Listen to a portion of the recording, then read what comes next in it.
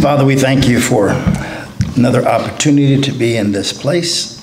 Thank you for giving it to us, for providing it to us. And Lord, we thank you for your daily care of our lives. And Lord, how you provide for these bodies, inward and outward. We pray now, Lord, for preachers around the world that they'll be faithful in their preaching and witnessing and serving thee. Pray now that you'll be with those who are working, unable to be here, those who could be here are not here. Pray that you'll speak to their hearts, see the importance of the time that we're living in. Paul calls them the last days. And Lord, we pray for that last Gentile this 13th of September that this might be their day of salvation and you call us home. But until that day, help us be faithful. Thank you, Lord, for those who serve at Emmanuel, those listening in over the internet this evening. We pray that we will have no technical difficulties. Lord, you'd give us a good hearing from your word. Bless the word and the preaching, music, singing, song leading, scripture memorization, everything that takes place this evening. In Jesus' name, amen.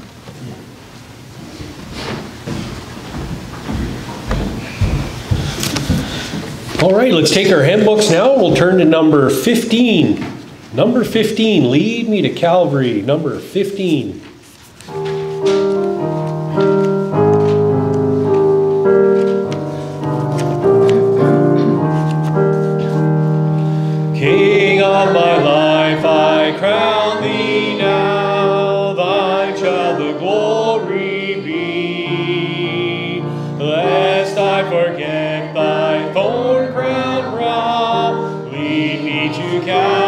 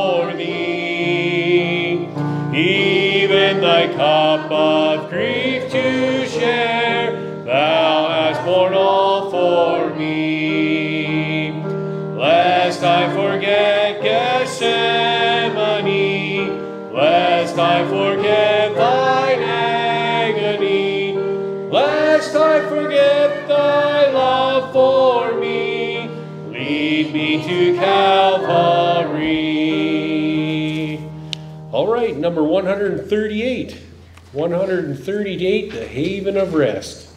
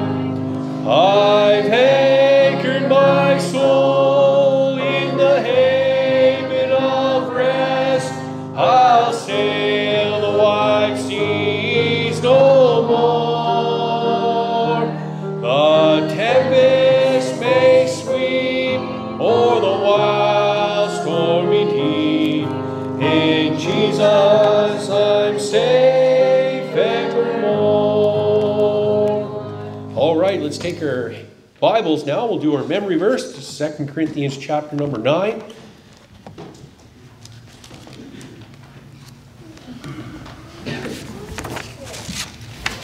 Second Corinthians chapter 9. Verse seven.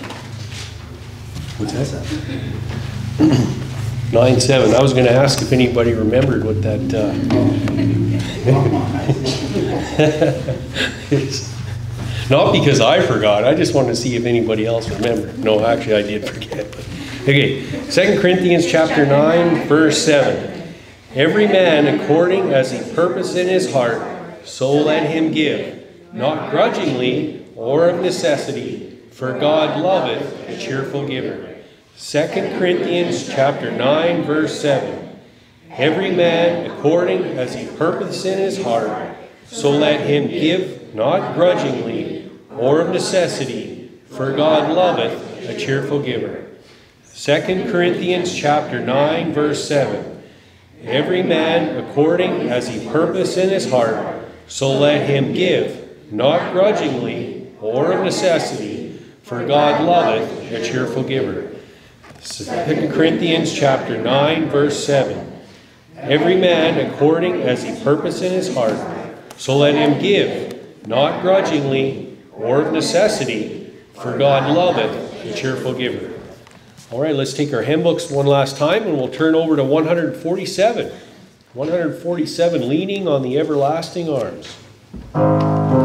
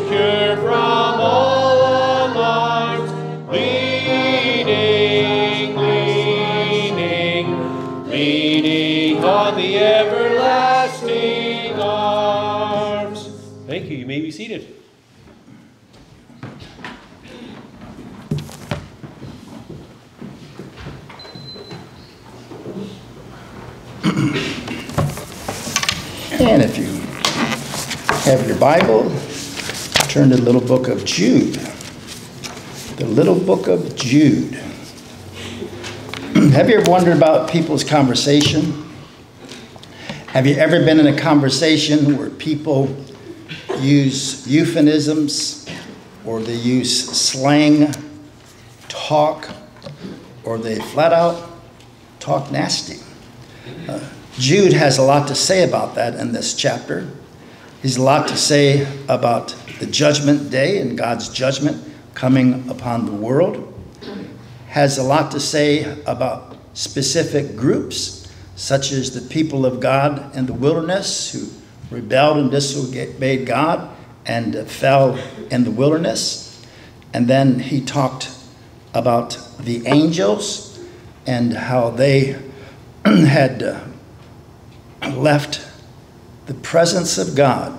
Imagine leaving the presence of God and following Lucifer, their leader, rather than God who created them. And then the third grouping was the two cities of Sodom and Gomorrah and how God brought destruction to them. Destruction to the rebels in the wilderness, destruction to the angels in heaven. And by the way, thousands of them are chained this evening in the pit of Tartarus. Not hell, not the lake of fire, but the pit. And they have been in chains all these thousands of years. And one day God will judge the angels. In fact, some teach there are seven different judgments or eight. And then, as we think of people who God created, male and female, created He them, and then they rebelled against God's creation, against God's leadership. and chose to sodomize, and God judged them. And now, tonight, we'll look at three different personages, beginning in verse number 10, again, talking about evil. but these speak evil of those things which they know not. Some people, they just like to blab and talk and have no idea what they're talking about. Uh, they like to attack dominions, powers, uh, preachers, uh, those in leadership. They like to just attack them. And Jude is going to talk in verse number 18 about mockers and complainers.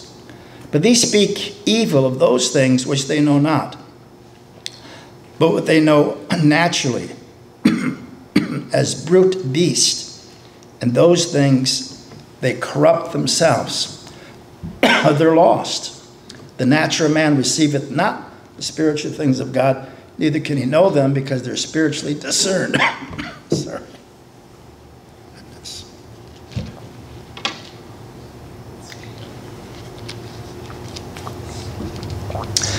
they corrupt themselves. Their conversation shows who they are. Now, that isn't to say that a child of God is to go along all day long praising God and taking Jesus and talking about Jesus. But in our conversation, uh, a, a backslidden Christian, a carnal Christian, you can just tell in a few moments in their conversation that they have become carnal and their conversation, their language. Evil communications corrupt good manners. So we need to be mindful of our mouths and our hearts. And the psalmist said, Let the words of my mouth and the meditation of my heart be acceptable, God, and my strength and my redeemer. Now, here's the first grouping of individuals. Notice the first word in verse 11 woe. Now, that's not what you say to your horsey. Whoa, horsey. Woe here is destruction. Woe, like look out. In the book of Revelation, there is three woes, and havoc is coming, destruction is coming, punishment is coming, judgment is coming. So Jude says, Woe unto them, for they have gone the way of Cain and ran greedily after the error of Baal, Balaam, for reward, and perished in the gainsaying of Korah. Korah is actually spelled K O R A H, Korah.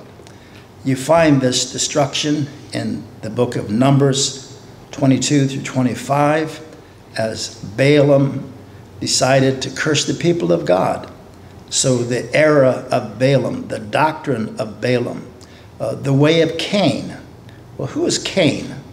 Well, you have to go to the book of Genesis, chapter 5, chapter 4, and find out who Cain is. So the way of Cain. What's the way of Cain? Genesis chapter number 4, and then you find him in the book of Hebrews, Uh, chapter number 11. The way of Cain. Cain, uh, the first uh, baby boy of Adam and Eve.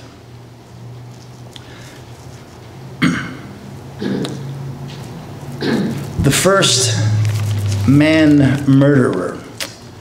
Got a text from Brother Green last week, Sunday after church, and he had mentioned that a fellow that went to the same school of ours, preacher. His daughter's boyfriend murdered her and murdered himself. Now just think about that family. I've been praying for this preacher and his family. Murdered his girlfriend, murdered himself.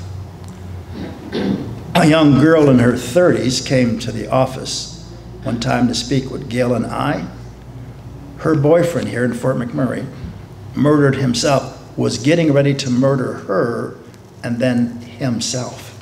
So just to think about someone who's a murderer. And Adam knew Eve, his wife, and she conceived and bare Cain. and said, I've gotten a man from the Lord. She thought she had the Messiah when she had a murderer.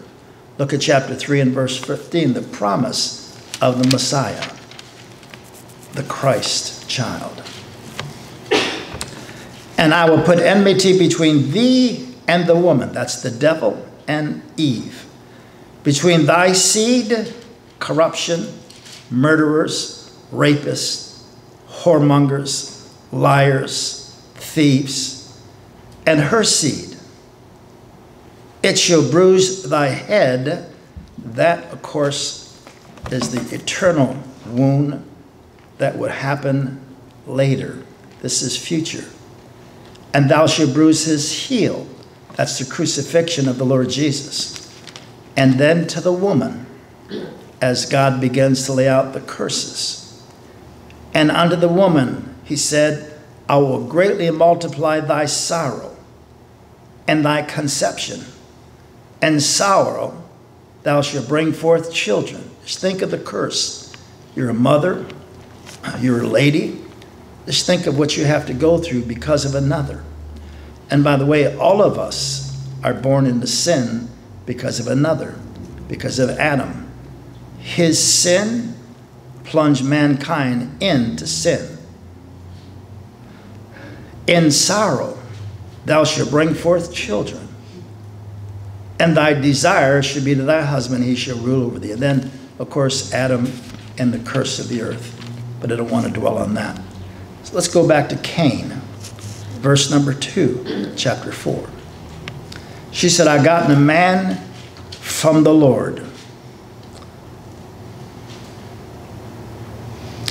And she again bare his brother Abel. What did Abel do for a living? And Abel was a keeper of the sheep, he was a shepherd. And Cain was a tiller of the ground, he was a farmer. And in the process of time, it came to pass that Cain brought of the fruit of the ground good works. Back chapter 2 and verse 7, 16, 17, God had cursed the earth, and we know that. Cursed the ground, thorns and thistles and weeds. And Cain brought of the fruit of the ground an offering unto the Lord. He brought a cursed offering. Abel brought a blood offering. God deals in blood or he deals in fire. Without the shedding of blood is no remission for sins. And Abel he brought of the firstling of his flock, and the fat thereof, and the Lord had respect unto Abel and his offering. Why? It was blood. Notice the contrast. But unto Cain and his offering, he had not respect. And Cain was very wroth, and his countenance fell. And the Lord, notice the graciousness of God, the mercy, tender mercy of God. And the Lord said to Cain, Why art thou wroth? And why is thy countenance fallen? Here's God giving Cain an opportunity. If thou doest well, by the way, Cain already knew from his parents. Surely they showed him those skins, said we'd sinned in the garden, we broke God's heart, God drove us out of the garden, out of fellowship. And those skins show the love of God. Because chapter 3 and verse number uh, 22 and the Lord God said, Behold, the man is become one of us to know good and evil. Now, lest he put forth his hand and take also the tree of life and eat and live forever. There's the grace of God. Because Adam's flesh, Adam, of course, his flesh was now corrupt. Look at verse 21. And unto Adam also and to his wife did the Lord make coats of skins and clothe them. So Cain knew, Abel knew God wanted a blood sacrifice. And yet, the harshness of Cain's heart and the wickedness of his heart would not listen to God. Verse 7 of chapter 4 If thou doest well, shall not thou be accepted? And if thou doest not well, sin lieth at the door. There's a sin offering. There's another lamb. Go get the lamb. Sacrifice the lamb. Place your head on the lamb, hand on the lamb. Slit its throat, and I will receive you. And unto thee shall be his desire, and thou shalt rule over him. And Cain talked with Abel his brother. And it came to pass, when they're in the field, that Cain rose up against his brother and slew him to take another person's life. 1 John 3 12, John says, Don't be as Cain, who was a murderer. Hebrews 11 4, God accepted Abel's offering, but rejected Cain. And the Lord said unto Cain, Where is thy brother? Where is Abel, thy brother? He said, I know not. Am I my brother's keeper? Yes, you are. And he said, What hast thou done? The voice of thy brother's blood crieth unto me from the ground. You don't hide from God. And now thou art cursed from the earth, which hath opened her mouth to receive the blood, thy brother's blood, from thy hand. When thou tilleth the ground, it shall not henceforth yield unto thee her strength. A fugitive and a vagabond shall thou be in the earth. And Cain said unto the Lord, My punishment is greater than I can bear. And you show me where God changed that. Now notice Hebrews 11 then. The way of Cain, the way of corruption, the way of self centeredness, the way of arrogance. Hebrews 11 4. By faith, what a tremendous chapter about faith. By faith, Abel offered to God a more excellent sacrifice than Cain. Not a more excellent Abel, but the sacrifice by which he obtained witness that he was righteous. Abraham obeyed God, and it was accounted unto him for righteousness. What? By faith, he obeyed God, believed God. God testifying of his gifts, and by it, he being dead, yet speaketh. Notice 1 John chapter 3. 1 John chapter 3.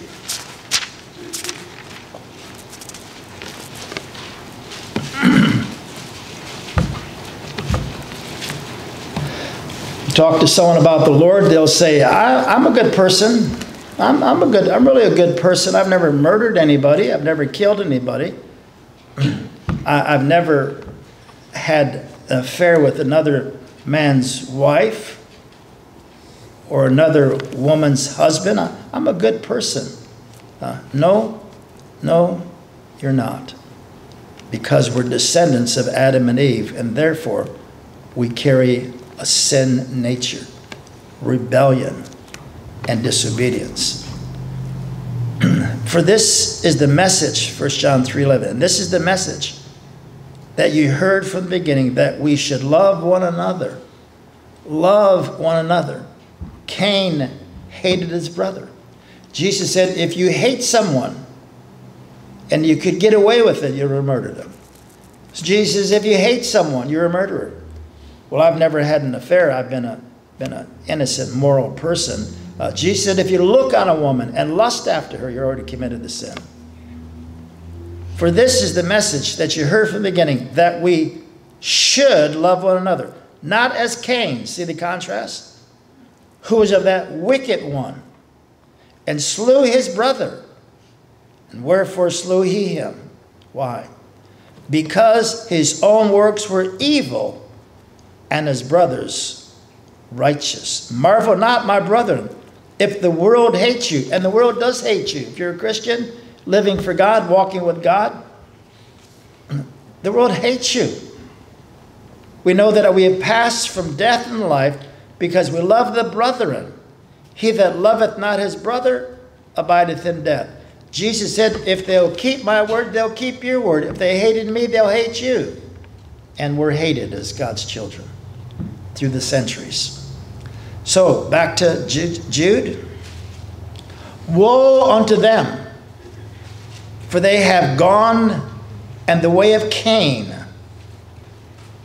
You might have said that, might as well said that Cain blasphemed God, and that's what these people are doing with their mouths. For they have gone the way of Cain. And, and secondly, the second person, and greedily. John 10, there's a bunch of hirelings. What's a hireling? John chapter 10. So Balaam was in it for the money. You know, a lot of preachers are in it for the money. What can I get? How much can I make? Thinking of a preacher, I say that very, very loosely because he wasn't a soul winner. And uh, in the 1990s, 1990, I met him in a mission conference in Michigan. And when he heard our testimony about Fort McMurray and the native people, and he wanted to come and work with the native people. Came and we found out before he even hit the ground running that he was not of us. He lied to us. Preachers lie, Christians lie. And I can't tell you how that sickens God's heart and grieves God's heart. Preachers, they lie. It wasn't long, the, of course, we wanted to help him in Anzac. We did. We helped him get a home, we helped him financially. He used our name to go around and raise support to come up and help the Glennons. And then he turned out to be a, a charlatan. A charlatan. The last time I saw him was at Tim Hortons downtown and was riding a Harley and had leathers on and just broke my heart and broke the heart of the people in Anzac that we loved and served faithfully for all those years. John 10 Verily, verily, I say unto you, he that entereth not by the door, but climbeth up some other way, the same as a thief and a robber. That, of course, is someone trying to get to heaven another way than through the Lord.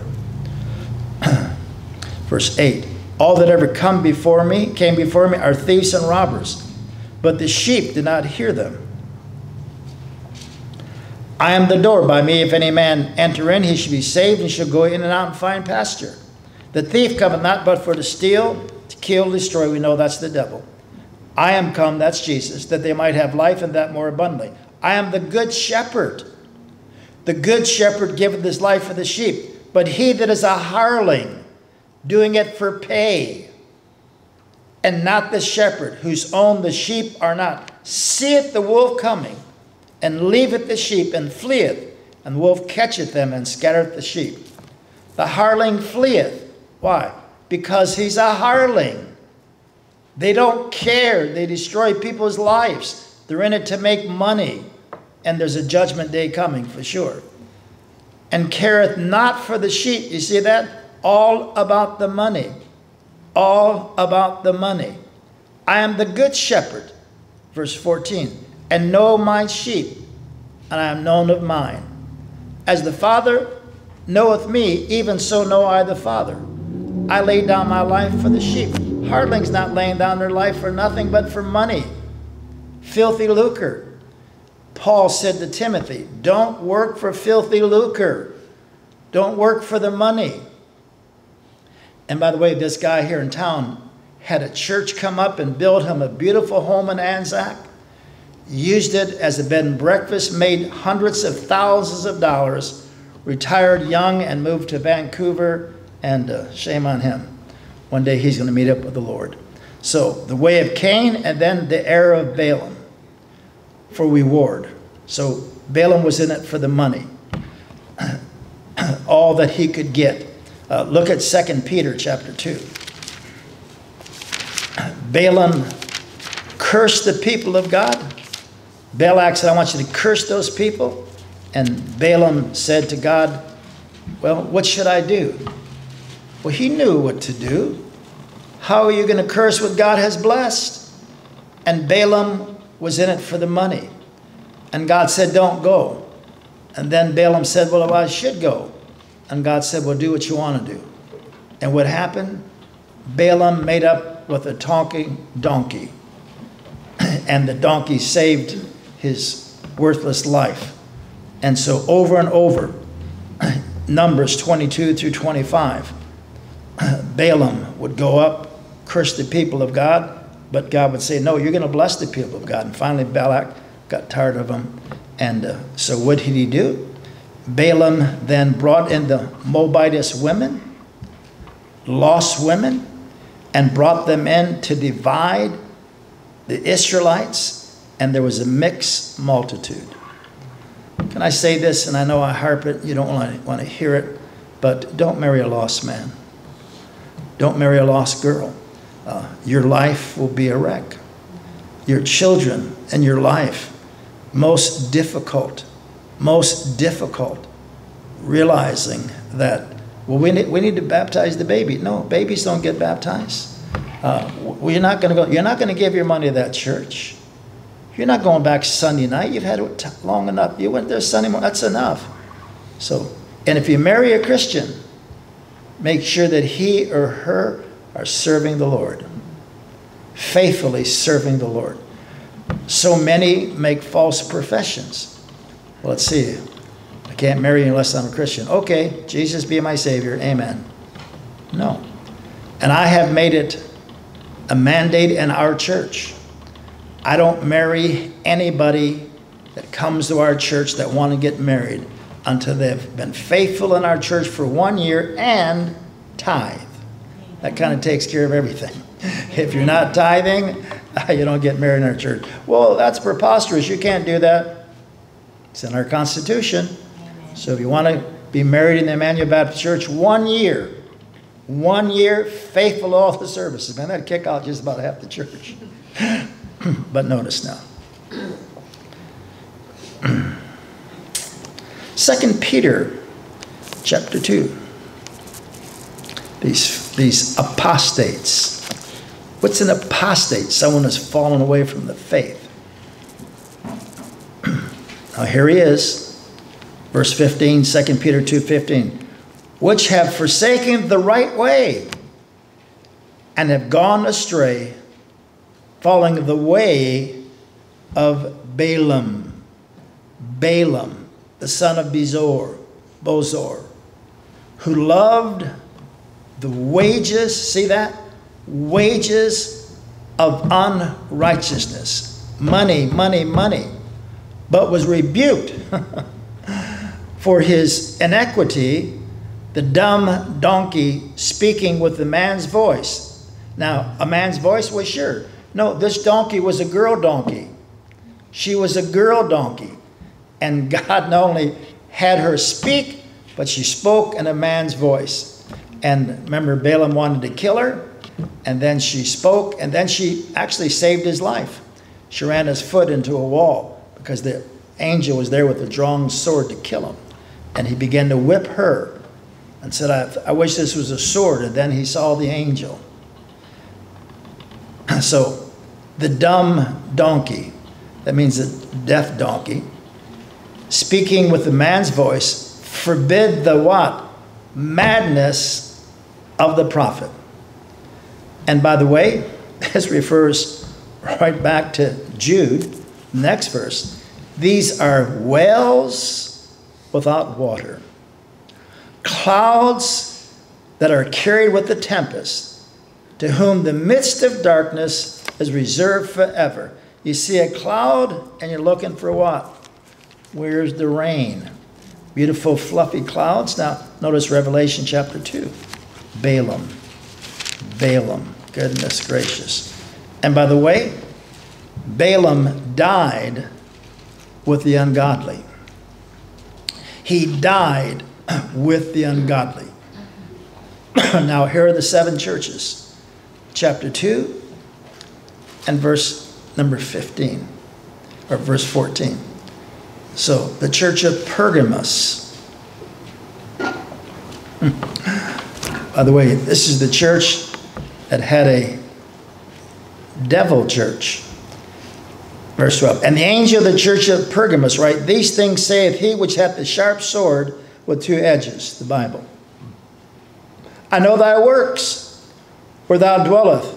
Watch this.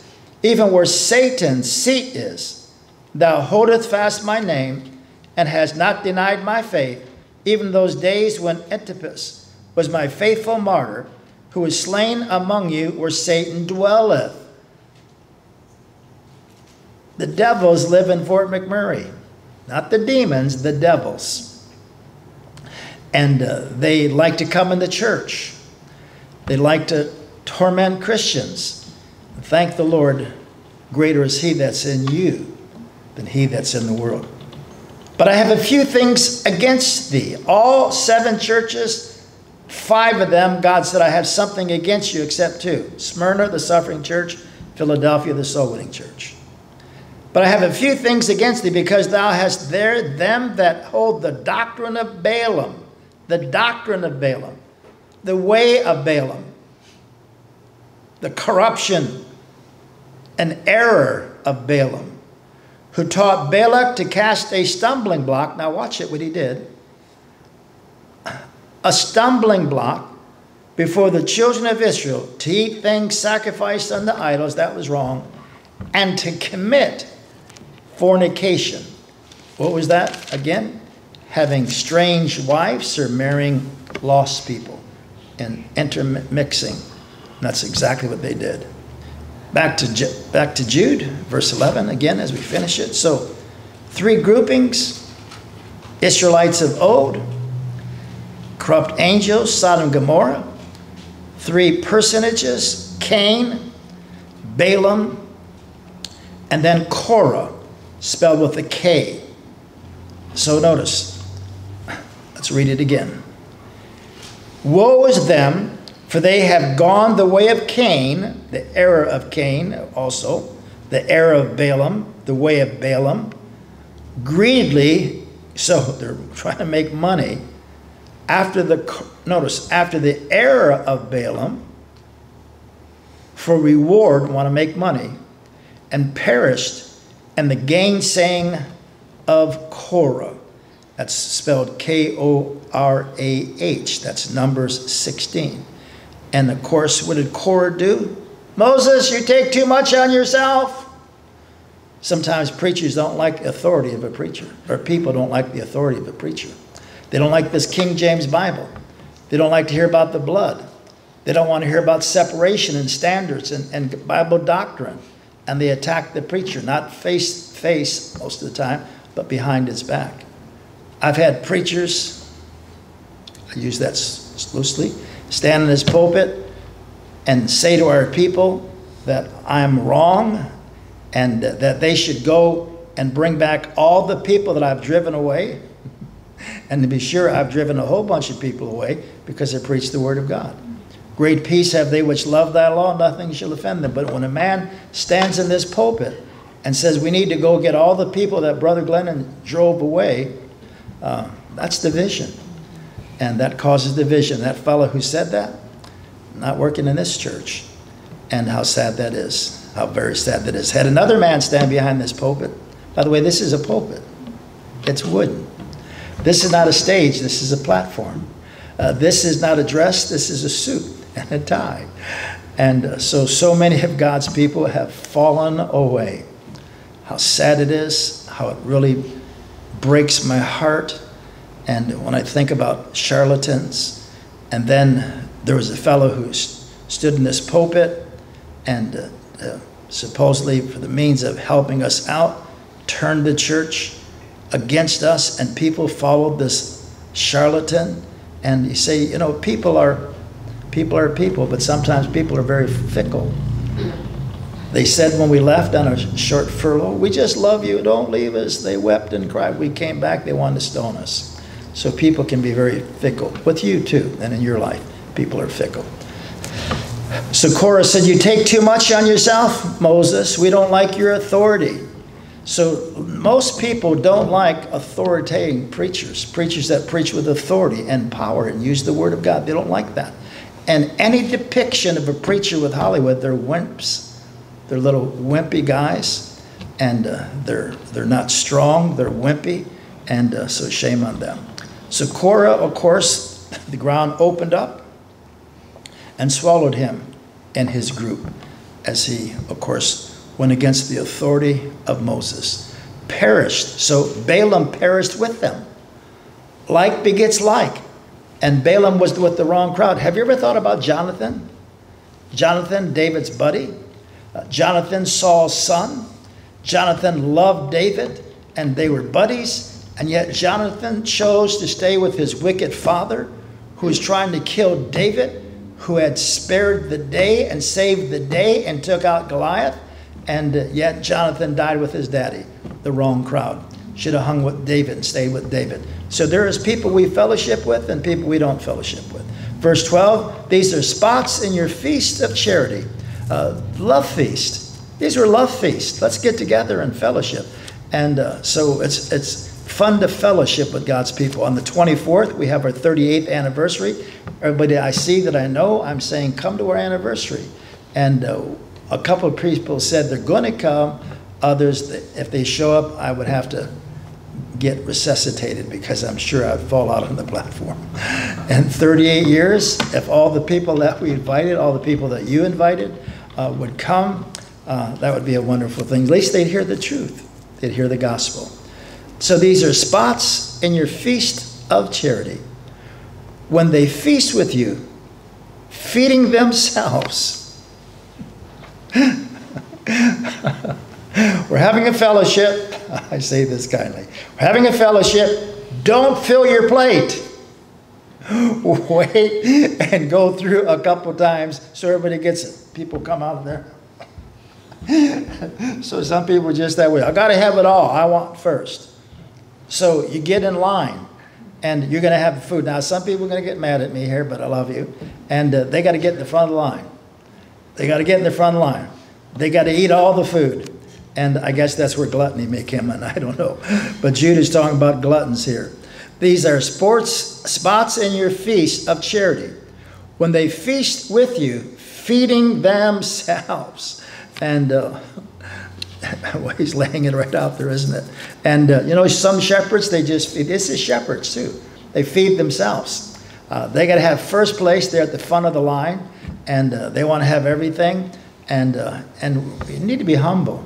James talks about that. James chapter 2. James chapter 2. And a lot of preachers are not very humble. You know, God has, a, people say, you know, we need to get rid of our preacher. Let God take care of your preacher. God has a way of taking care of preachers. And uh, God will humble a preacher. And uh, so, oftentimes, so someone comes to the church, we want to say, what are you wearing? Uh, so, so don't ask people too many questions when they visit, please. Don't go up and say, now, uh, what's your bank account? And, uh, and what Bible do you use? and uh, where do you where have you come from? That's none of your business. Just be kind. Thank you for coming to our church. Be kind. Don't ask them 20 questions. Don't ask them all the questions. Just be kind. Welcome to our church. Don't badger them. And uh, what Bible do you use? We used to have a fellow, big fellow, sat there in the back of the church. He sat in the back of the church because he was so disturbing. And people would visit, he'd come and get in their faces and say to them, uh, I don't use deodorant. Pastor makes my family sit in the back of the church because he's a mean man. No, I made them sit in the back because they distracted. They were distracting so much, and I try to have grace with these people. I've never kicked anybody out of the church. I may have run some off, but this fellow I had to finally tell him that's enough. Enough is enough. He'd get my wife in the in the kitchen, put his arms between the door, wouldn't let her out of the kitchen. What would you do? And he would go up to people and say, uh, "Our pastor's a mean man." And, uh, and by the way, you'll have a laugh with this. Uh, he's not the pastor, Mrs. Glennon, she's the real pastor. and, uh, and after a while, I had to say, you know what? Too distracting, too distracting. And yet, uh, I had to say, I'm, I'm, I'm going to be kind to you, but if you continue this, I'm going to have to ask you to leave. I didn't want to do that, but I needed to do it according to the will of God. Why? Causing division. Now, James chapter 2. My brethren, have not the faith of our Lord Jesus Christ. Notice, the Lord of glory with what? Respect of persons. Let's see. Hmm, looks like she's got a diamond ring on. She may have money. Well, they pull, those people pull up in that Cadillac. Oh my goodness. Uh, who's that fellow there? Who's that fellow over there? Oh my God. He pulled up in that old Ford, that jalopy. And look at the clothes. You know, don't judge a book by its cover. For of these came, notice, for of these came unto your assembly. So if there come, I can't even read, if there come unto your assembly a man with the golden ring and goodly apparel, wow. And there come also a poor man in vile raiment. Of course, that word vile there is, we don't use that today, um, but just grubby. And you have respect to him that weareth the gay clothing. we don't say that either. Some people wear gay clothing to be sure. But boy, how words have changed. Well, we're so gay. No, I'm not gay. Gay in those days meant I'm so happy. I'm such a gay guy. Our pastor's a gay guy. Oh my goodness, what happened to our pastor? So the word get, has changed. And wearing the gay clothing, they wear gay clothing. They wear gay clothing, don't they? Wearing a dress. Oh my goodness gracious. The world has gone crazy. The. Uh, the uh, assistant um, health guy across the border, can't think of what position he's in, long hair, he's a man. He's a man that wears a dress. Crazy, crazy, crazy world. That's why they look at us like we're ignoramuses, like we're stupid people, because we stand faithful. Uh, Gail and I went to a chorus. I think that's the last time I'm going to chorus. I'm not pushing or prodding, but I just can't get a good egg there. Just saying that. And uh, so we're sitting there, and here comes a guy with a dress on, and he had his collar on backward. You know, why would you want to button your collar behind your neck? And uh, so you know who I'm talking about. And he come waltzing in there in his dress, and I thought, oh my soul. And he didn't look very happy. And the guy who was sitting with him didn't look very happy either. So I'm simply saying that um, our clothes do depict some things about us. We should be modest and we should dress um, um, conservatively, but uh, some people, we look for what they have. What are they driving? What are they wearing? No, what are they in the inside? God looks on the inside. Man looks on the outside. So you say to the say to the him, sit thou in a good place, the rich man, the gay guy, gay, gay clothing and say to the poor, shut up, sorry, stand thou there or sit here under my footstool. Are you not then partial in yourselves and are become judges of evil thoughts? Hearken, my brethren, my beloved brethren, had not God chosen the poor of this world rich in faith and heirs of the kingdom, which he had promised to them that love him? And uh, so Let's not be particular about people's dress, their demeanor, and how they look. And of course, if they're lost, um, God has to change their lives, and God will change their life. Going back now. Going back now. Feeding themselves. Verse 12.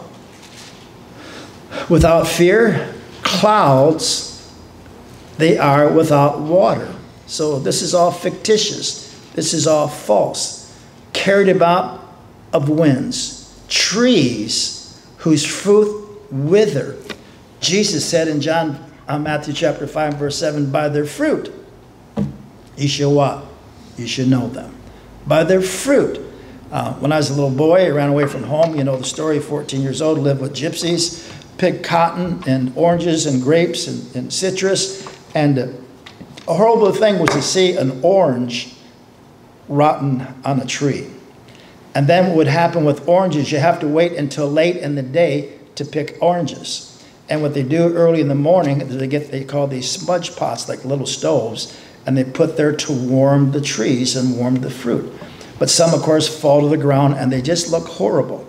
And then, of course, they spray. Now, who knows what they sprayed back then? I was only 14, but I've lived be this long, so I guess it didn't kill me.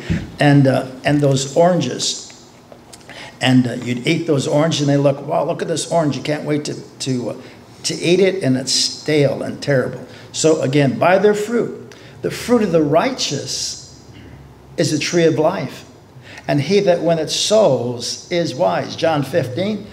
Here is my Father glorified that you bear much fruit. So shall you be my disciples. So notice trees whose fruit withereth, without fruit, twice dead, plucked up by the roots. And of course, that's apostasy. They're lost, twice dead. So dead in sins and trespasses, and then, of course, the second death, going to hell. So here, Jude is alluding to, of course, lost people. And uh, these are the apostasy, these are the falling away. Raging waves of the sea, foaming out their own shame, wandering stars, no stability. We, a, a, a mariner follows the stars. You can't with these kind of stars because they're false. And uh, these apostasy, they're false.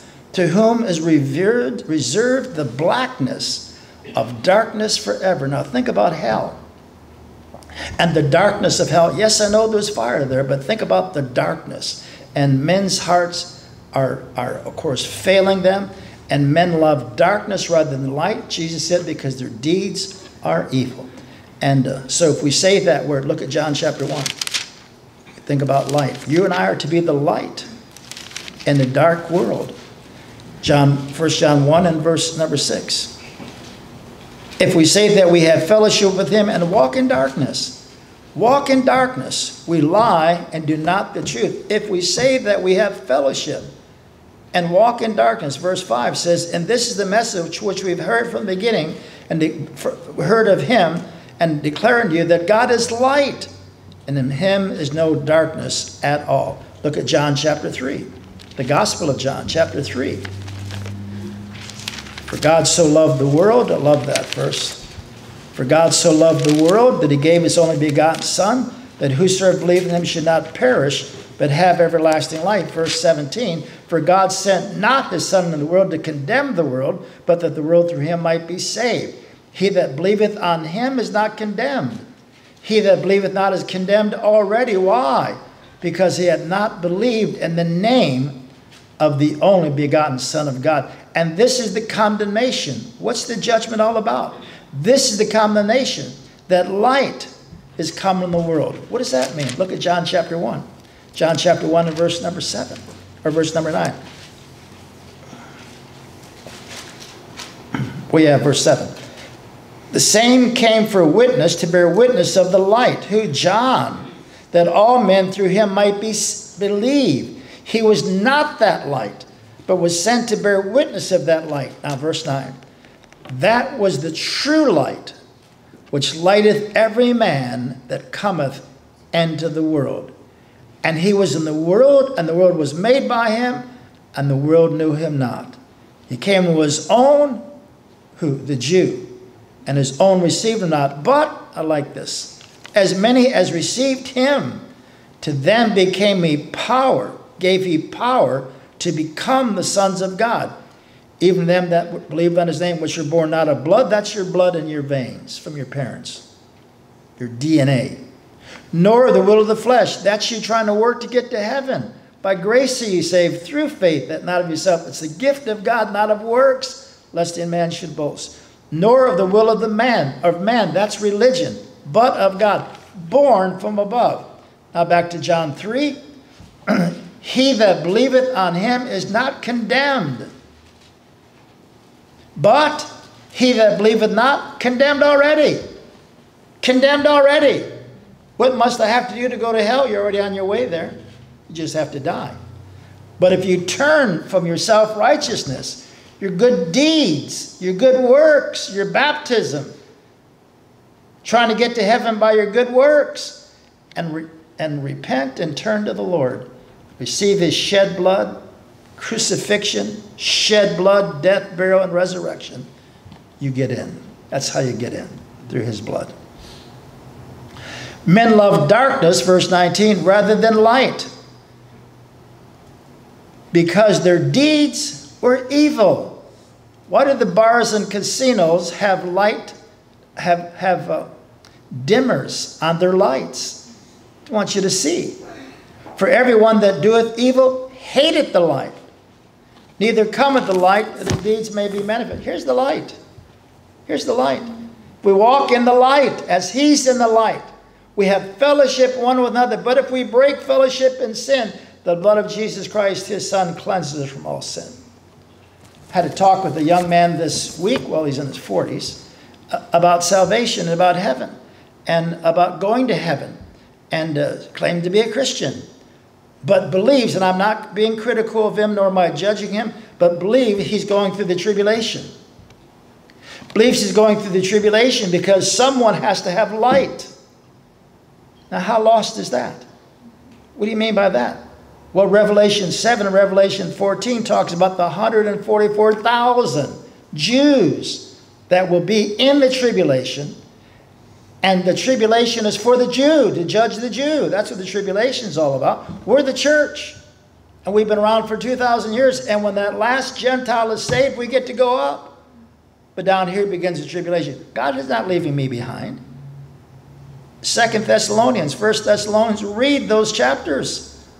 And you find out we're not the children of wrath. I'm not the children of wrath. You leave your baby behind? I don't think so. I'm not the child of wrath. I'm the child of light. I belong to the Lord. So the tribulation, I tried to to this young man. He said, well, that rapture business, that's, uh, that's from Scofield. People hate the Scofield Bible. That's from Scofield and Nelson. No, the rapture is not in the Bible, but the catching up is in the Bible. Going to be caught up, going to be with the Lord. So you have to rightly divide the word of truth. And I'm not staying behind, I'm going up. I'm getting out of here, and God is going to ordain 144,000 Jews, and they'll be the soul winners, and they'll be the witnesses. So, I'm not a Jew. This poor young man tried to, and he's already set in their mind, his mind, so I try to help him, send him some more verses. But anyway, I'm not a child of wrath, I'm a child of the light. For everyone that doeth evil, verse 20, hateth the light, neither cometh the light, lest his deeds should be proved. But he that doeth truth cometh to the light, that his deeds may be made manifest, that they are wrought in God. So, Jude, what are you talking about here? I'm talking about the apostasy, talking about these groupings of people that have fallen away. The Israelites fell away, the angels fell away.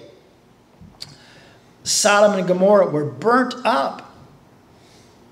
Cain chose works rather than the blood. Balaam chose the money. Korah turned against God's man and fell. And then verse 13 raging waves of the sea. Isaiah says, The wicked are like the troubled sea that cannot rest. So, have you ever been by the ocean and the waves come in and there's that foamy looking stuff? That's what he's talking about here. Raging waves of the sea, foaming out their own shame. Wandering stars, no stability to whom is reserved the blackness of darkness forever. And here's the rapture. And I tried to tell this young man here's the rapture, whatever you want to call it, the catching up. Here's the picture in the Old Testament. The Old Testament is a picture book. Noah made it through the flood. That's the Jew that will go through the tribulation and the millennium reign. Enoch went to heaven without dying. That's a picture of the Jew, of course, he was a Jew, went to heaven, but that's a picture of the church or God's children going to heaven without dying. That's why we say, I'm not looking for the undertaker, I'm looking for the upper taker.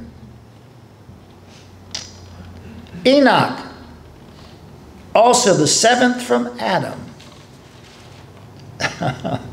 Genesis chapter 5. Enoch walked with God and was not, God took him. 65 years old, Enoch got saved. You know, a lot of people don't get saved when they're old. Someone who gets saved when they're old, you know, salvation is a miracle. But when they're older and get saved, that's truly a miracle. If you would talk to the majority of people that get saved, it's usually from the ages of 6 through 15, or maybe up to 18. But people who get saved in, in midlife or in old life, they have been under corruption all their lives. It's hard for them to turn. Uh, they have been hurt, they've been hindered, they've seen religious bigots and so forth. Hard. That's why we get them saved at an early age, so that they serve the Lord. So Enoch, also the seventh from Adam, prophesied of these things, saying, Behold, the Lord cometh with 10,000 of his saints. Now, of course, now there'll be millions. But back then, of course, 10,000 was a big number. I mean, how would you like to have, how would you like your income today, 2023, be the equivalent to the income in 2,000 years ago, where a penny a day, people lived on a penny a day. So if you, let's say your income is um, 50, 60, 70,000 dollars, you're in good shape. Because inflation is not like it is today. Today, what is a dollar worth today? Governments have corrupt, and then someone told me something the other day, and I'm not being political here, but just giving you information, that the Teamsters, think about this when you don't have a when you have a moment. The Teamsters across the border are trying to get a 43% raise in their income. Why do you think your cars cost so much? The Teamsters. And uh, so, unions. Are you okay tonight? I'm going up.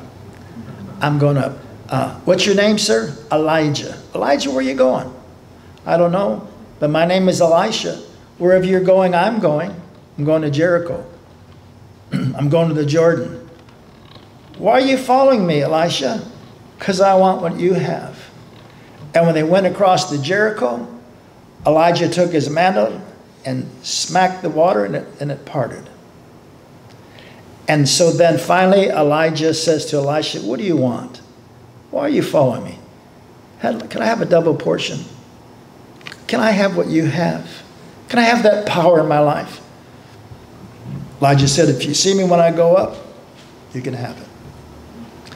And finally, there came a Uber, they call them Ubers, with a chariot of fire, went an Uber, but he got a free ride to heaven. And he went up in a fire. And Elisha said, The chariot of God in the fire. And of course, Elisha went up. Elijah went up. And Elisha said, Don't forget me. And Elijah dropped his mantle.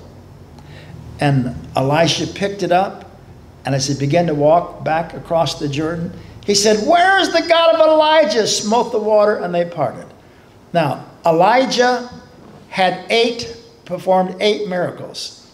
So two times eight is how much? 16. Well, if you count it, Elisha actually performed 20 miracles. So that Old Testament is such a wonderful picture book, but the New Testament, of course, is a book about faith. So then faith comes by hearing, and hearing by the word of God. So Enoch went up, Elijah went up, and hallelujah, when the Lord comes, I'm going up. How about you? Shall we stand together? So, guard your conversation. Guard your conversation. How you talk. When I got saved, 16 years old, a street urchin, I'm really struggling about giving my testimony for our 38th anniversary. I'm not sure if I want to do that or not, but but we, we were street kids. Uh, Ten brothers and sisters. Two died. Boys died at birth and my mother was a waitress. We were street kids. I mean, we were urchins, right? So I got saved at 16 after I came back from running away from home, getting stabbed in my back, almost dying, blah, blah, blah. Fellowshipping with the preacher's boy. And on a Sunday after church, the preacher invited me to dinner, lunch, and the grandmother was there. And I sat there and she kept saying, What's the matter? The cat got your tongue? That means, can't you talk? And I said, Oh, yeah, I can talk. I don't think you want to hear what comes out of my mouth. And you know what? There came a day when I, I think I, I, I don't know if I hit my thumb, but something happened. No curse words came out of my mouth. God had changed my life. God will change your vocabulary. God will change your vocation. God will change your vision in your life when you truly get saved and are born again. God will and God does change your life. And hallelujah, He's still in the savings business. Amen.